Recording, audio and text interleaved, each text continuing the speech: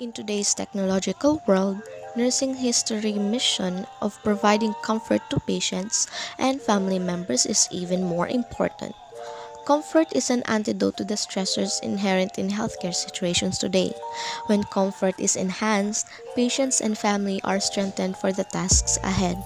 In addition, nurses feel more satisfied with the care that, they are giving, according to Kathleen Kolcaba.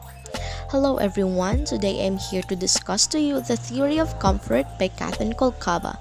So sit back, relax, and lend me your ears to this amazing theory.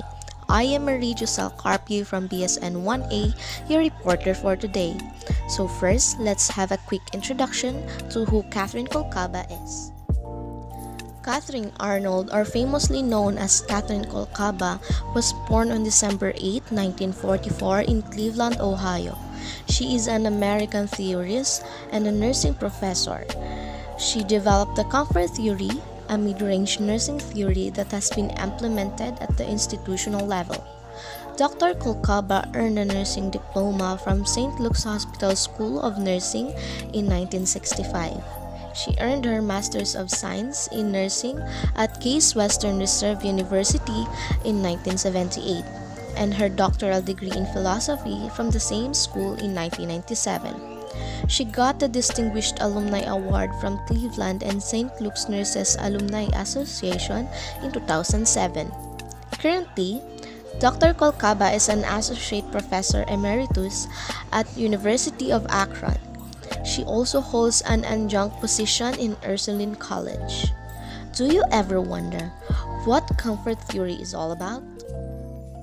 Well, Kolcaba conducted a concept analysis comfort that examined literature from several disciplines including nursing, medicine, psychology, psychiatry, ergonomics, and English. She also described comfort as existing in three forms, which are relief, ease, and transcendence. Also, Kolcaba described the four contexts in which patient comfort can occur. These are physical, psycho-spiritual, environmental, and social-cultural. First form of comfort is relief. Relief is when a particular need of a patient is satisfied. It has the same principles as Orlando's need-based philosophy of nursing, which was discussed by the previous reporter. If specific comfort needs of a patient are met, for example, the relief of postoperative pain by administering prescribed analgesia, the individual experiences comfort in the relief sense. Second form of comfort is ease. Ease is a state of a person that is calm and content, which also consistent with the 13 fundamental human requirements by Henderson. If the patient is in the comfortable state of the contentment, the person experiences comfort in the ease sense. For example, how one might feel after having issues that are causing anxiety addressed. Lastly, transcendence. Transcendence is a state of a person which one outgrows in difficult situation or pain. It originates from the principles used by Paterson and Zderad to denote more being. Kolcaba asserted that they eventually lead to a state of transcendence or renewal in which the individual has moved past the initial discomfort with the end result being increase of the individual strength.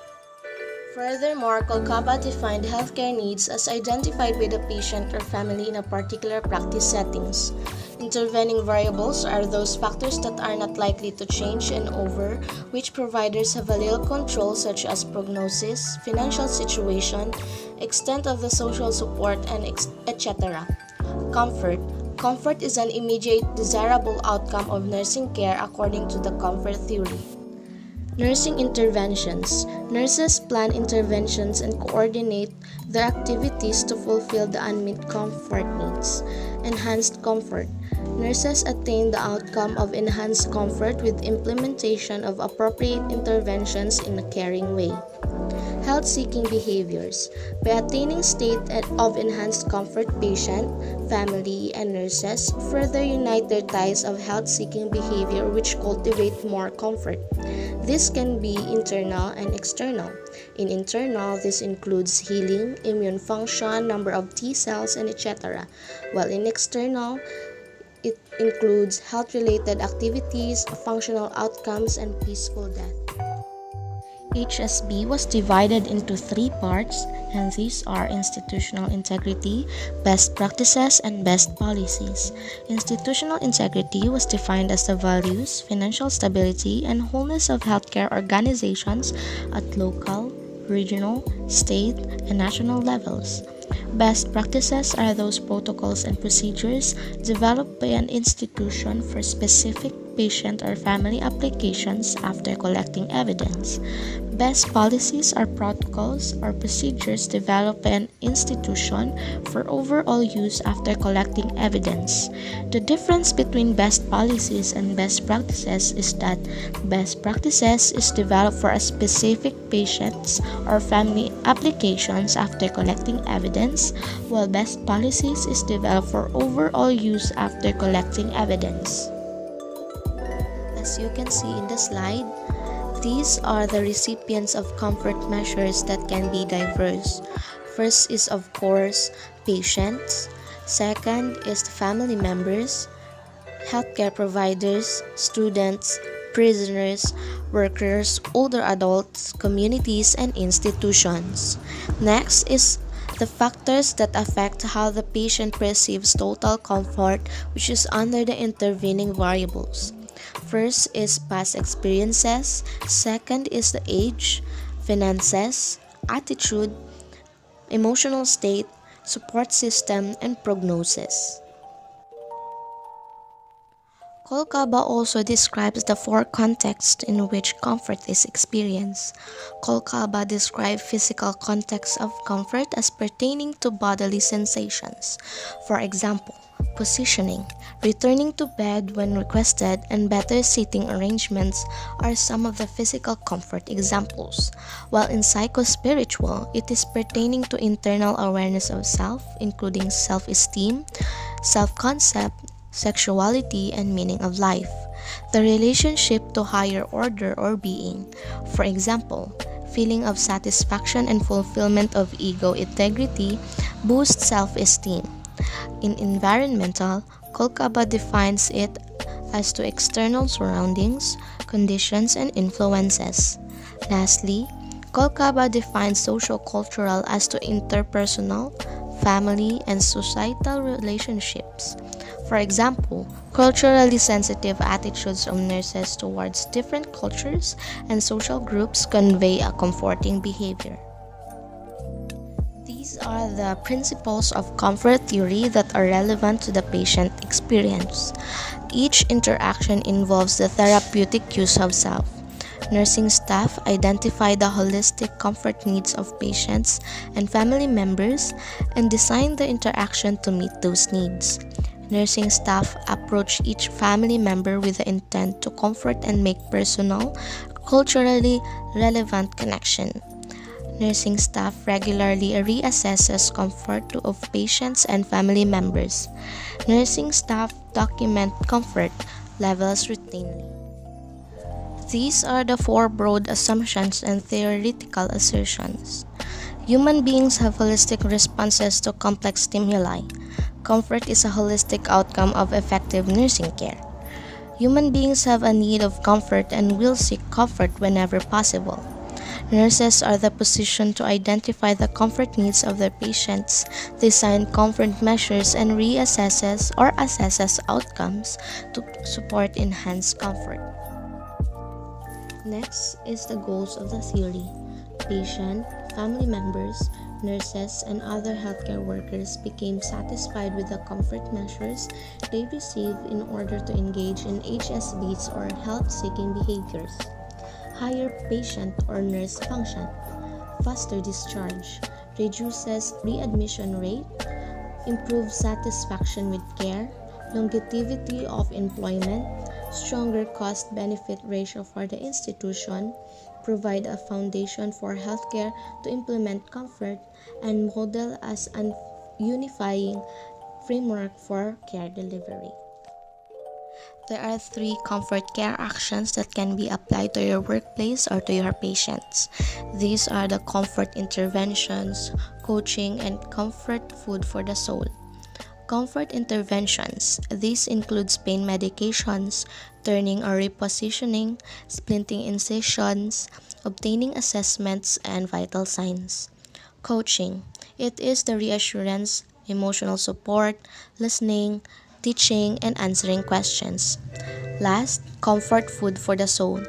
This is not literally the food that we eat, but this is about filtered lighting, quiet room, calming music, facilitate family coming to the bedside, and allow periods of undisturbed rest of or peace of mind. Here you can see the taxonomic structure that provides a map of content domain of comfort.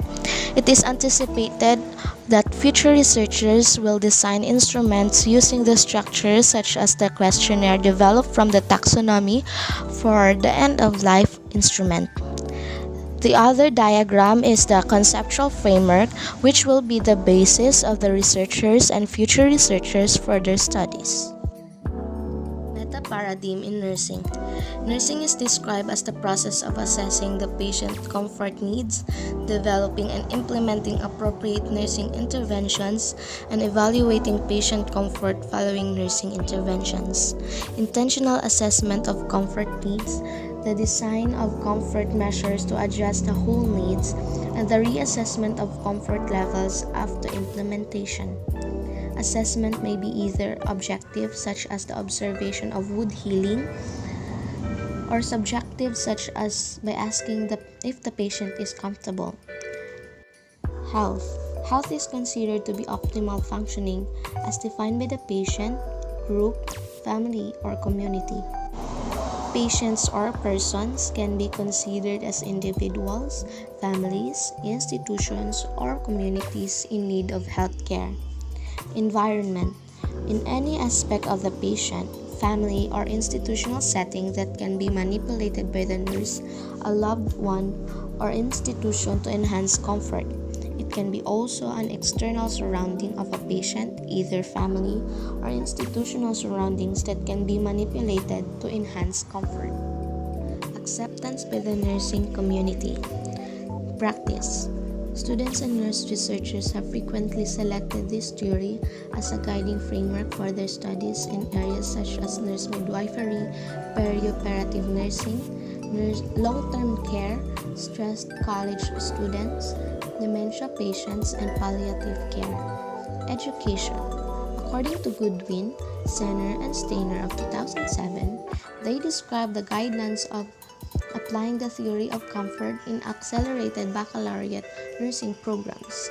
The theory proved to be easy for the faculty to understand and apply, provided an effective method to role model a supportive learning partnership with the students. The theory is appropriate for students to use in any clinical settings, and its application can be facilitated by the use of comfort care plans.